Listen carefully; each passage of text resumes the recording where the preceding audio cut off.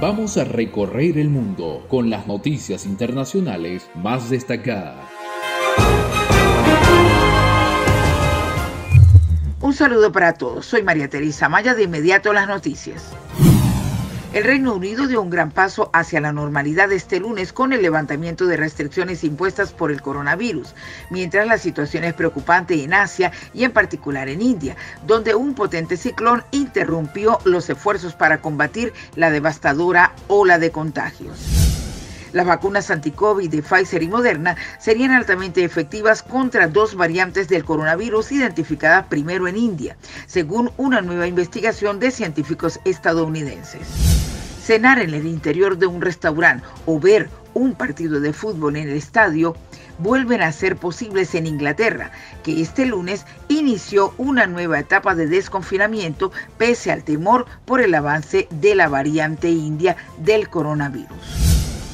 Nos vamos con más información en Colombia con Moisés Sánchez. Gracias María Teresa. De inmediato las informaciones. Estados Unidos enviará 20 millones de dosis adicionales a otros países de vacunas contra la COVID-19. El envío se daría a finales de junio, según informó portavoz de la Casa Blanca. Biden anula decreto emitido por Trump que requería que los inmigrantes tuvieran seguro médico. Posponer segunda dosis de la vacuna contra el COVID-19 de Pfizer por 12 semanas produce mayor cantidad de anticuerpos según estudio. Incidente en el municipio colombiano de Yumbo deja saldo de un muerto y 22 heridos. Personas no identificadas atacaron este lunes un cajero automático y dos estaciones de expendio de combustibles en Yumbo, en el departamento del Valle del Cauca, luego de que el domingo disturbios y enfrentamientos con las fuerzas de seguridad en la misma ciudad dejaron un muerto y 22 heridos, incluyendo seis policías.